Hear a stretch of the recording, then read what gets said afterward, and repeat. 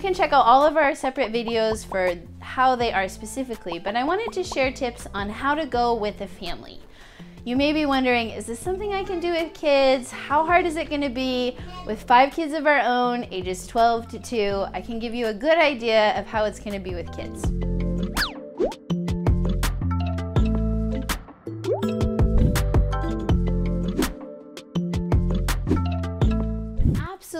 Go with children. They gear a lot of the Christmas markets towards families, so there's almost always something for kids. The only exception was this kind of little tiny town in France called Riquewihr, Riquewihr? I don't actually know.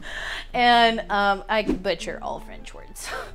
But that one didn't really have anything for kids. All the other ones were pretty big and they had lots of stuff for kids.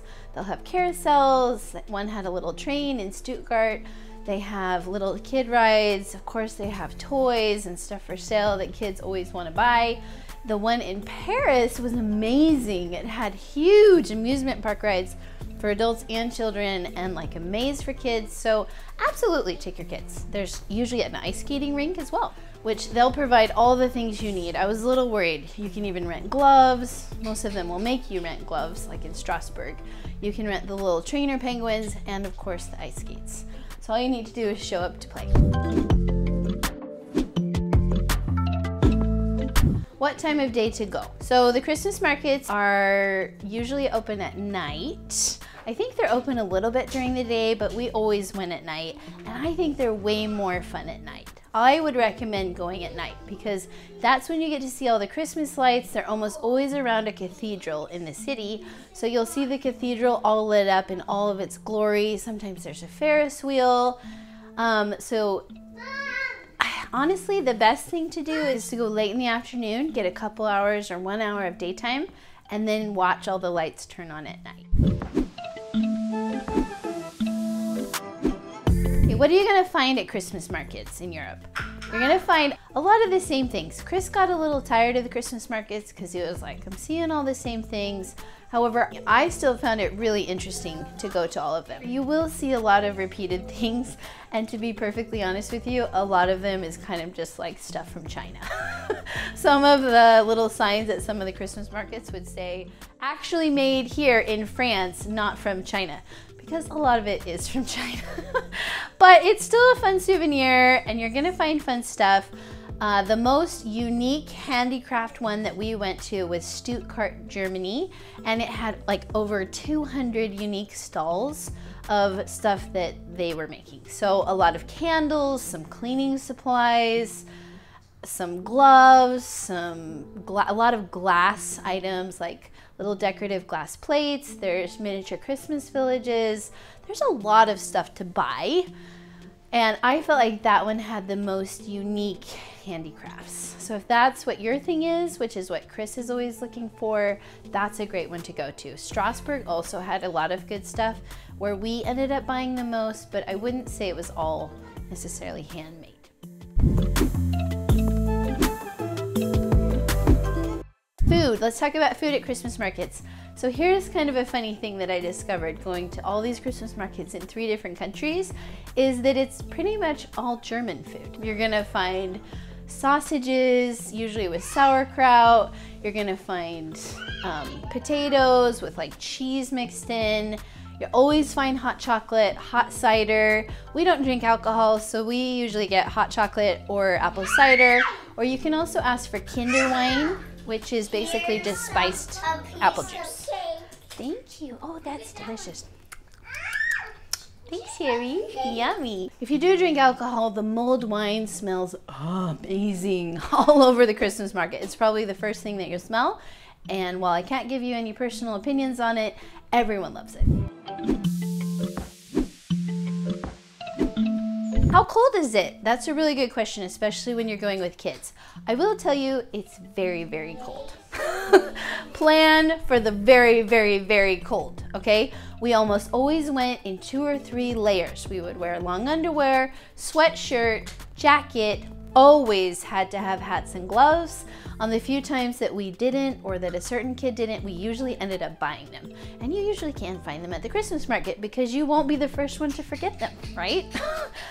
Um, I never regretted going too warm. I would also wear really warm footwear. My mom was injured and she went to a few Christmas markets in a wheelchair and her feet were freezing because she wasn't walking on them. So dress really warm. Layers are always a really good idea when you're traveling and you're traveling in cold weather because you can always take them off. and if you're lucky enough to have a stroller, which can be a little bit of a pain, but can also hold a lot of winter gear. So make sure you dress for the cold. And if it's warm, then bonus, right? But we never had a warm one. They were all very cold, very, very cold.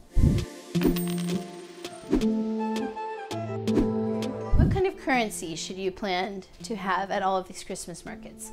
So first of all, cash is king at the Christmas markets. There are some stalls that will accept credit card, but for the most part, they're gonna say no. Okay, all of Europe pretty much uses the euro, except for Switzerland, which I learned when we went to Switzerland. They use the Swiss franc. They're not part of the European Union technically, even though they have no border control to get in.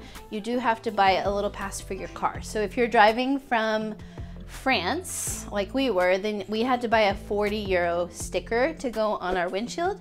You buy that once a year, and while you pass through, they do check for that sometimes. There was one time I went through that they didn't. Um, but they use the Swiss franc, which ends up at this moment being almost a one to one ratio with the US dollar. So they will accept euros because the euro is worth like 10% more than the Swiss franc, and then they'll give you change in Swiss francs, which is pretty annoying because you can only use those in Switzerland. they don't accept many credit cards. Some did, I think like one out of five places that we asked accepted a credit card. So plan for that. You can still take your euros there if you go to Switzerland. And I really loved the one in Basel, but I will tell you that it was a lot more expensive than all the other ones we went to.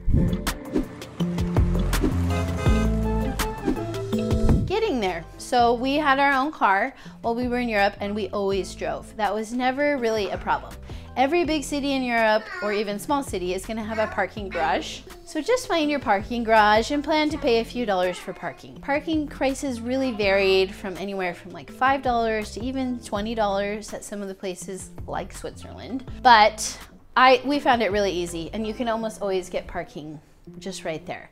If you want to try and translate all the street signs and figure out if you're parked illegally or not, good luck. we never attempted to do that. The remote village one, the Riquewihr, France, we did have to drive through this little medieval town and, and while they had some parking available, it was all full. So we ended up parking kind of in like a forest behind the town and walking down. But most people are driving, it's no big deal. If you want to take public transportation, that's of course very easy to do too. In any big city in Europe, they have fantastic train systems, metro systems, and like in Switzerland, almost there's very little of the population that actually owns a car.